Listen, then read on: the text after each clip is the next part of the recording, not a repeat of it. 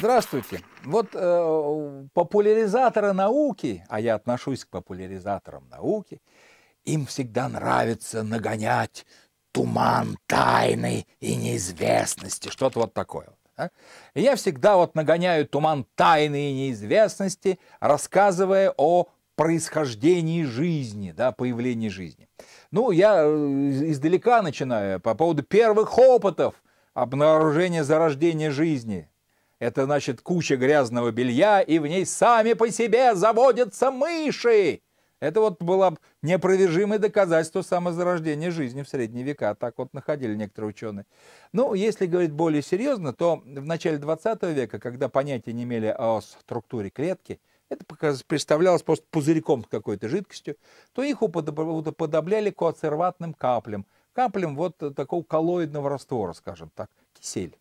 Вот капелька киселя в воде, она ведет себя очень похоже на клетку. Если разница концентрации, например, соли внутри и снаружи разная, то пытается уравновесить эта концентрация. Если э, внутри капли соли много, туда вода поступает, капля раздувается. О, питается капля, как клетка. Вот. Но вот в наше время такие простые модели уже не проходят. И обычно, когда я нагоняю туман, я на этом месте останавливаюсь, чтобы тумана было больше. А вот сейчас я вот решил пройти дальше, в область вот этого вот самого тумана и неизвестности. Значит, что там в этом тумане неизвестности есть? На данный момент наука двинулась гораздо дальше, чем была раньше. До сих пор непонятно, как могла такая возникнуть сложная структура клетка, но, по крайней мере, э, неизвестно мне из доступной мне литературы, какие же на этот счет гипотезы есть. Зато вот гипотезы о появлении э, кода да, нашего ДНК, вот они уже появились. Видите ли, в чем дело? Э, в наше время значит, умеют читать ДНК. Я вам сейчас расскажу, как это делается. Это очень сложный процесс. Ну, во-первых, сначала аналогия с нашим обычным компьютерным делом. Можно? В ней уже немножко устаревшим компьютерным делом. Когда-то раньше длинные программы записывались на магнитофонной ленте. У вас много этих магнитофонных лент, и на всех в них написано одно и то же. Да? Понятно? Вот у вас нарвали маленькие кусочки, и вы начинаете кусочками читать. Вот там какой-то фрагмент, там букв 100, может быть 500, может быть 1000. Разные методы чтения вот позволяют по-разному сделать. Значит, то, как, как это делается в биохимии, это рвут на куски молекулу ДНК и начинают э, ее потихонечку э, заново синтезировать. Понимаете, помните, такая молекула ДНК, у нас двойная спираль, и в чем прелесть? Она как э, картинка в детской книжке была, как молния вот так вот расстегивается, а сюда можно пристраивать, строить новую молекулу ДНК. Всю целиком длинную, большую не построить сразу.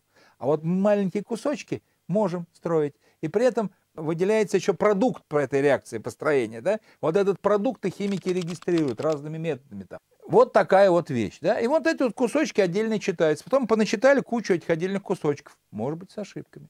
А потом надо из этих отдельных кусочков, компьютер уже нужен, мощный суперкомпьютер. Он эти кусочки складывает, сравнивает, и вот она целиком готовая запись, которая была у вас на кассете. Вот, из буквок вот этих вот, да, которыми записан код. Вот.